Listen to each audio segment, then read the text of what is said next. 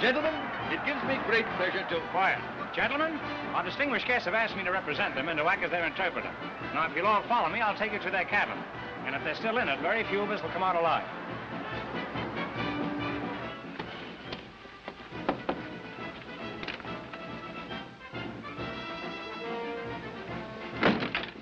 Pardon me, our distinguished guests are having their shredded wheat.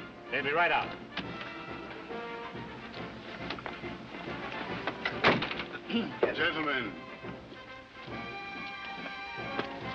Kind friends. Here, give me that. Let's cut this short.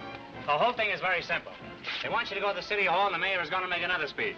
We can tear up the mayor's speech when we get there. And so, my friends, as mayor of this great city, I take pleasure in inviting our distinguished visitors to tell us something about their achievement.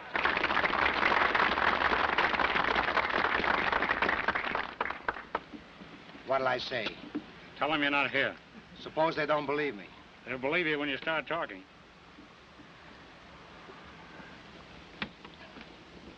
Friends, Talk fast. I see a man in the crowd with a rope.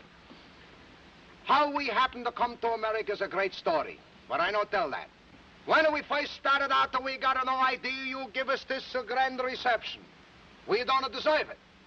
And when I say we don't deserve it, believe me, I know what I'm talking about. Huh? That's a novelty. So now I tell you how we fly to America.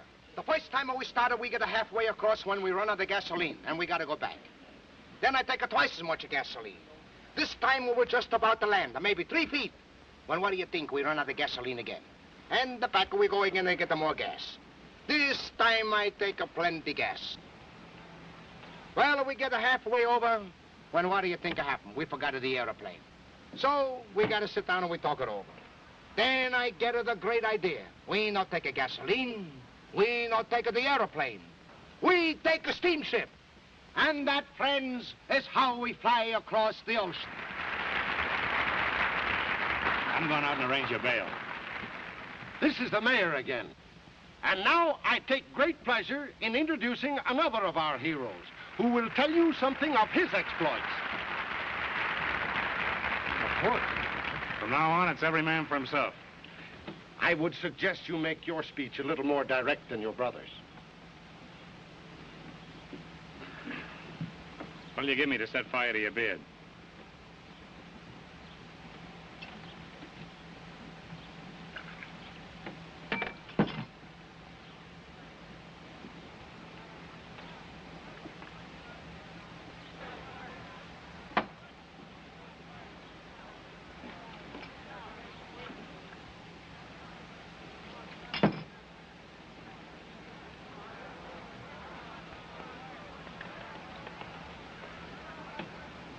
Well, we're all right as long as the water supply holds out.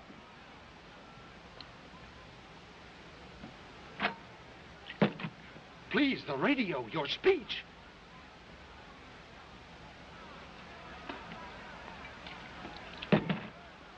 You know they may have to build a dam in back of him?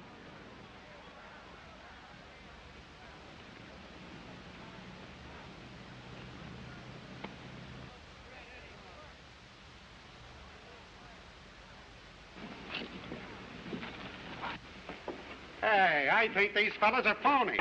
What's that you say? You heard me. Oh, everything all about it is finished. And the Southman is no free. See, that's here we use it. Listen, You hear what they say? They say they've never been so insulted in their life, and they absolutely refuse to stay here. No, no, please. He didn't mean it. Tell them he didn't mean it. No, yet we found this now. We didn't even did this. That's it, young. It's a Of course, you know this means war. I'll see what you've done. I'm sorry. I'm awful sorry. I apologize, and I hope you're not offended.